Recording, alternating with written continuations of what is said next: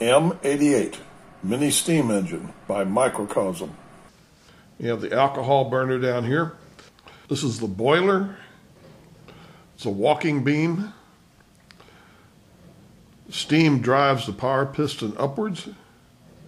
Then this sliding valve arrangement comes to this position, opens the vent, and momentum on the flywheel pushes the piston back down this exhaust. The valve goes back to the closed position, opens steam up to the bottom of the piston, and it goes up again. And on the other side, there's a safety valve. And if that goes off, that sounds a little bit like a tea kettle or a pressure cooker. There's a little silicone O-ring here that seals when it's down. And on the inside, that's spring loaded pressure builds up, lifts up on this piston, which is spring loaded. That will release any excess pressure. And then there's an O-ring here that seals against the boiler.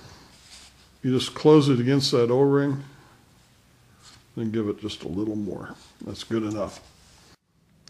If you know this boiler is empty,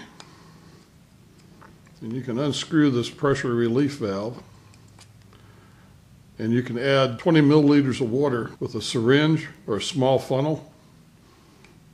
Put this back in. When you tighten this down, it just needs to be firm. You don't have to tighten the heck out of it. And you should check to make sure this is free to operate. 20 milliliters of water will take you to about here. You do not want to fill this any more than two thirds full. And if you start boiling it too violently, then the water can slosh up and you'll get water in here instead of steam. And that may stop the engine. This one has three rods that sit down in pockets in the alcohol burner. And they index into these holes, which is the lid of the boiler.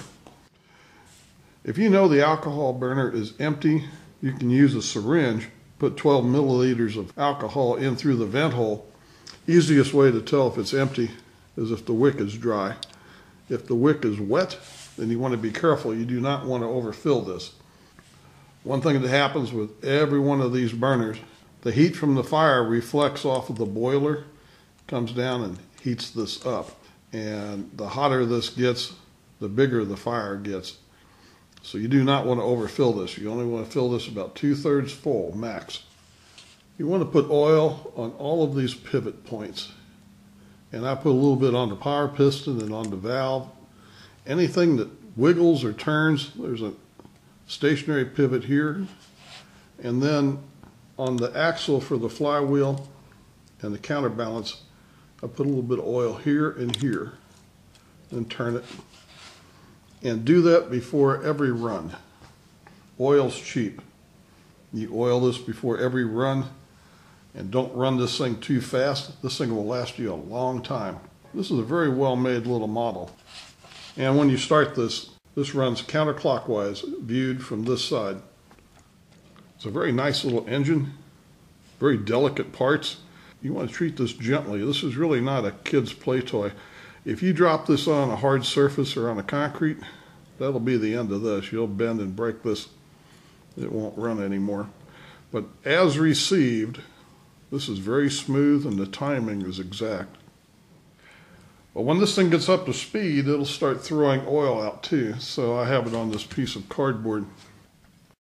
We start off with a reasonable size fire. If this gets too hot, I take something like this dental tool and I push that wick back down a little bit.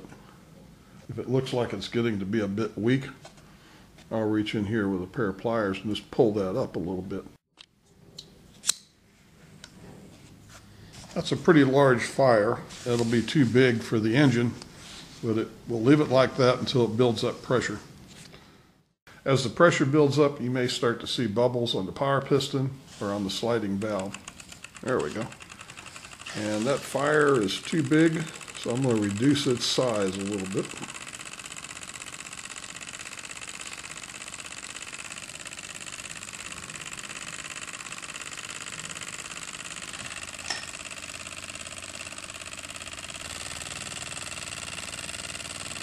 This is a good speed for this. If this starts screaming and the pop-off valve is whistling, your fire's too big. You're running it too fast. Slow it down. This is actually running a little bit faster than what I would care for. So I'll move that fire down just a little bit.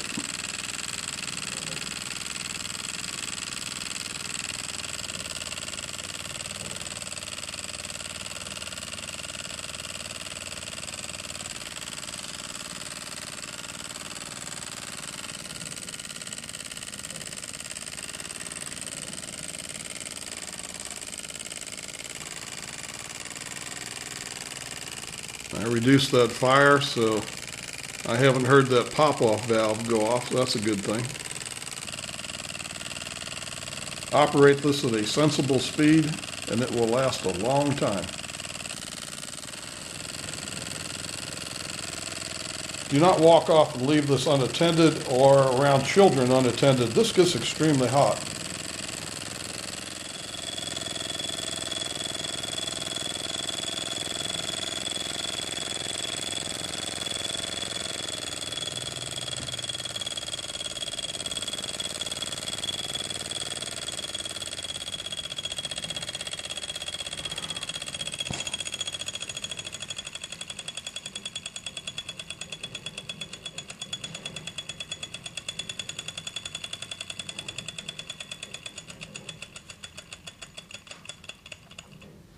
This ran for just over 20 minutes. That's a long run. Now just leave it alone, let it cool off naturally.